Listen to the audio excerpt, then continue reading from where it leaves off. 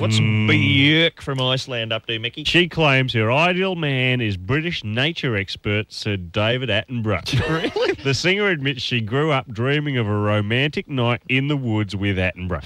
She says, I fancied him as a kid. Imagine what it would be like going out with a guy who could take you out into the woods at night and watch insects making love.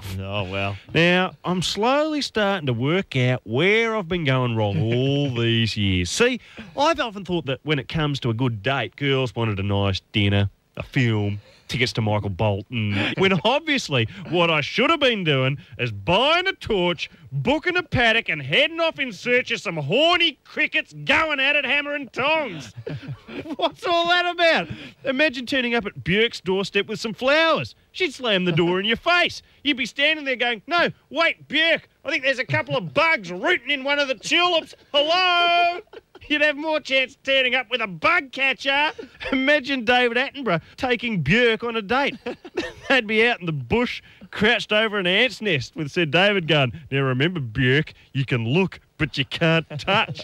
How many times do you reckon she would have come home after a night out to find her father pacing around the house in his dressing gown going, Do you realise what time it is, young lady? Where have you been? Oh, down the hive? Oh, down the hive again. I've warned you about that meat market.